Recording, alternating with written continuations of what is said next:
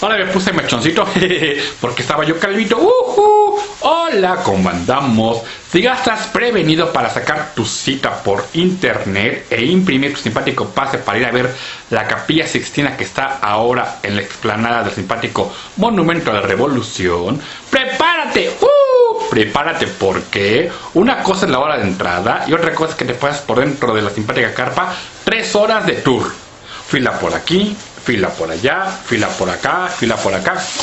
Bueno, hasta uno se queda dormido. Pero bueno, dejen que pasemos tres horas de fila en por aquí, sección A, por acá, sección B, por acá, sección C. En serio, eh, muy mal organizado, pero déjense de eso.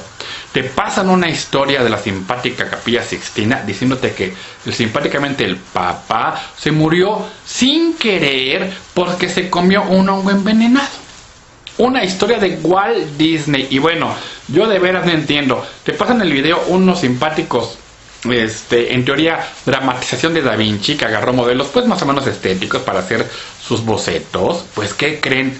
En la capilla Sixtina los ves detalladamente y están todos gordos, pero eso sí, llenos de cuadritos. ¿Qué será? ¿Será que casualmente, casualmente están mal impresos aquí entre nos?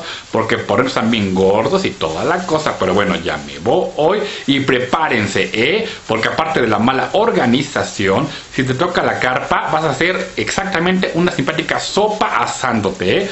Porque va hasta el calor a todo lo que da. Es más, muchas personas cuando yo lo vi, se estaban así, miren y eran todos los quinceañeras a bordo de simpática tercera edad que ya no aguantaban porque bueno, no hay ni ventilador. Así es que reitero, prepárate, ¿eh? Si vas a la capilla Sixtina, vete con cinco horas porque la hora de entrada es otra cosa. Tara, tara, tara, Triste realidad.